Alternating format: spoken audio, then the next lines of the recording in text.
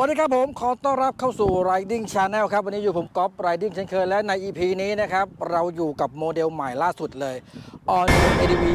160 ซึ่งคลอดมาไม่นานนี่เองนะครับ พร้อมๆกับตัว Forza 350 ใหม่นั่นเอง วันนี้มีโอกาสได้มาขี่แล้ว ได้มาลองในเรื่องของสมรรถนะเทคโนโลยีใหม่ไม่ว่าจะเรื่องของเฟรมบอดี้ใหม่เครื่องยนต์ใหม่ช่วงล่างใหม่กลไกข้างในใหม่หมดเลย เพราะนั้นวันนี้เดี๋ยวจะมาเล่าให้ฟังว่าการขับขี่ทดสอบในวันนี้ นะครับมันเจอกันหลากหลายรูปแบบทั้งทางดินที่เห็นอยู่ตรงนี้นะครับแล้วก็ทางใช้งานทั่วไปในเมืองว่าฟีลลิ่งมันเป็นอย่างไรและตัวรถเนี่ยมีการปรับเปลี่ยนจุดไหนให้น่าสนใจมากกว่าตัวที่เป็น 150 ตัวเก่านะครับ ต้องบอกว่าเฉิดฉายไรอย่างแน่นอนเพราะนั้นไปะเดี๋ยวพาไปชม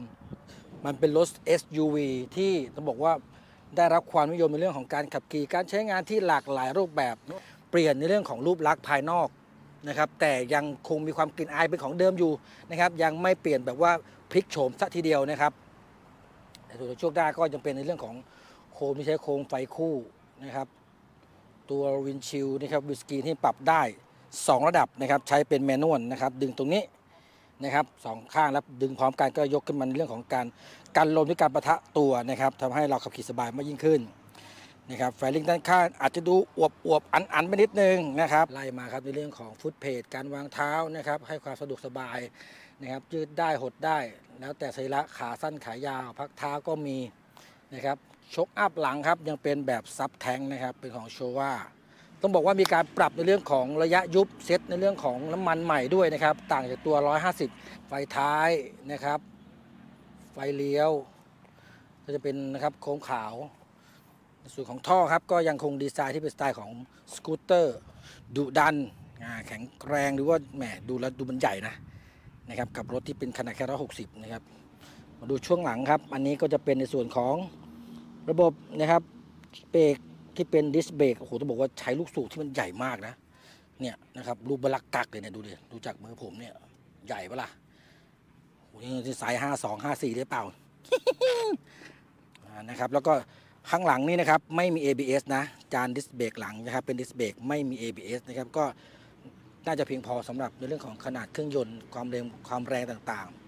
ๆนะครับระบายความร้อนด้วยน้ำนี่มอน้ำอยู่ด้านข้างก็ยังมีครีบในการดักอากาศ หรือลมเข้าไปช่วยเป่า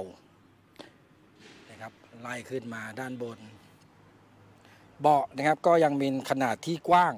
ก็นั่งสบายทั้งผู้ขับขี่แล้วก็ผู้ซ้อน นะครับเดี๋ยวจะให้ดูเรื่องของใต้เบาะว่าเป็นอย่างไร นี่คือตัวรถนะครับรายละเอียดตัวรถใต้เบาะเขาบอกว่า U-Box นะครับจะใหญ่ขึ้นจากเดิมอีก 2 ลิตร ของเดิมเนี่ยมัน 28 ลิตร อันนี้เพิ่มมาเป็น 30 ลิตร หมวกกันน็อกเต็มใบวางได้สบายๆพร้อมกับสัมภาระในเรื่องของ handling ก็ยังเป็น hand taper นะครับสวิตช์การใช้งานก็นะครับด้านซ้ายก็มีไฟสูงไฟต่ำนะครับ แตรนะครับแล้วก็ไฟเลี้ยว ส่วนด้านขวาก็จะมีในเรื่องของนะครับ idling stop นะครับแล้วก็สัญญาณไฟฉุกเฉิน emergency นะครับแล้วก็ start ไฟฟ้าตรงนี้นะครับนี่เขาบอกว่าเป็นเจน 3 เป็นตัวที่เจนที่3นะสำหรับนะครับตัวsmart key ของ Honda นะครับก็จะให้เหมือนเดิมครับ กดปิดเปิดนะครับ แล้วก็ปลดล็อกในเรื่องของเบาะฝาถังน้ำมันอ่าฝาถังน้ำมันก็นี่ออกแบบดีไซน์ให้เหมือนกับตัวรุ่นพี่นะครับ สามารถเปิดออกมาปุ๊บ ไม่ต้องไปวางไม่ต้องไปถือแล้วมีที่วางปากเขาให้ ฝากไปบอกด้วยนะทำไมไม่ทำให้กับ Forza บ้าง เออ PCX ก็ไม่มี อ่าปิดใช้งานง่ายครับ อ่า อันนี้คือรูปทรงโดยรวมๆของตัว ADV 160 ใหม่นะครับ ในส่วนของยาง อ่าด้านหน้าครับ ตัวนี้เป็นยางเขาบอกว่าเป็นยางกึ่ง หรือว่า dual purpose นะครับ จะสังเกตได้ว่ามันจะมีดอกบั้ง ตัวหน้าสัมผัสเนี่ยนะครับมันจะไม่ไม่เหมือนกับยางที่ใช้ on road ทั่วไป ซึ่งมันสามารถที่จะขับขี่ได้ทั้งทางที่เป็นถนนทั่วไปนะครับหน้ายางสัมผัสค่อนข้างจะเยอะ แต่เรามีโอกาสได้ไปลงดินแบบนี้ที่เราเห็นกันอยู่นะครับมีโดดลงโดดเนิน เพราะนั้นตัวที่มันเป็นร่องเนี่ยมันก็สามารถทำให้ช่วยในการตะกุยหรือว่านะครับจิกเข้าไปในพื้นดินได้นะครับสำหรับ disc brake หน้าตัวนี้ ABS นะครับ พร้อมกับคาลิเปอร์ที่เป็นแบบ 2 ลูกสูบ อ่านะจะเป็นของ Nissin นะฮะนะครับแล้วก็ระบบโช้คอัพเป็น telescopic แต่เขามีการเซตระยะยุบที่มากกว่านะครับแล้วก็ให้ความนุ่มหนึบที่ดีกว่าการใช้บน on-road นั่นเองนะครับทีนี้มาดูในเรื่องของตัวเรือนไมล์กันบ้าง ตัวนี้นะครับเรือนไมล์ก็จะเป็นในเรื่องของ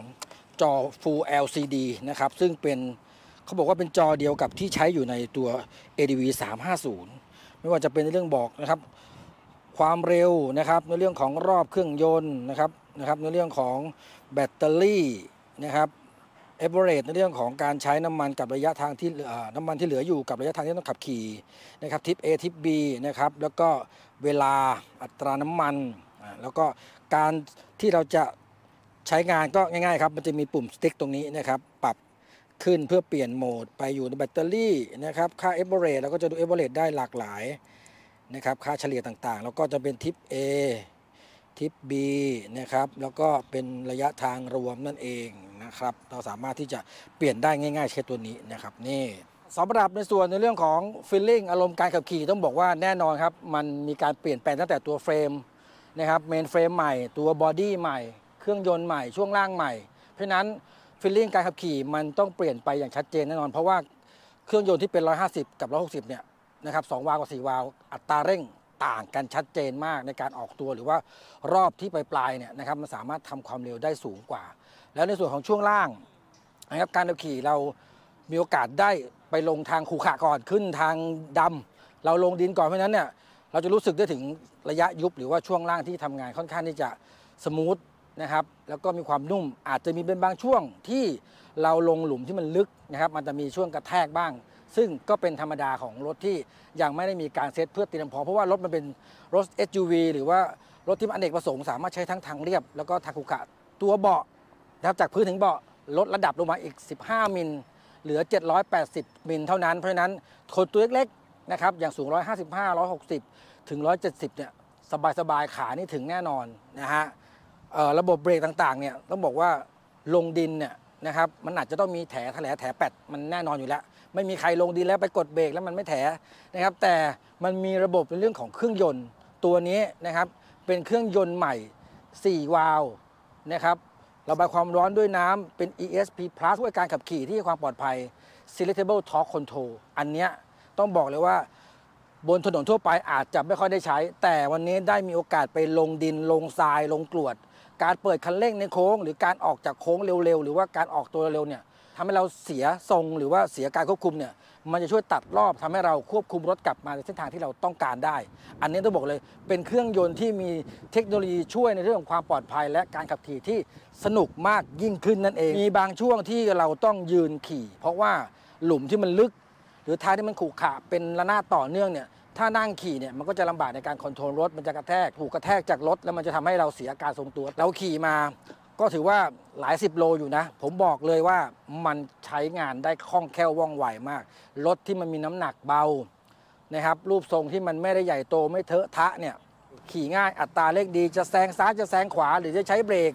มีจังหวะเบรกกระทันหัน ในการออกทริปร่วมกันเป็นกลุ่ม ระบบการทำงานของ ABS หน้า ฉับไวมาก แล้วก็จะมีระบบไฟนะครับเรียกว่า emergency stop signal เวลากดเบรกหนักๆหรือกระทันหันเนี่ยไฟทางฉุกเฉินน่ะไฟกระพริบสองข้างเนี่ยมันจะขึ้นโชว์ทำงานว่าข้างหลังเห็นว่าเฮ้ยอันนี้มันเกิดไฟฉุกเฉินขึ้นมาต้องใช้ความระมัดระวังเวลาเราดูรถคันหน้าด้วย เพราะนั้นมันก็จะปลอดภัยสำหรับเราและ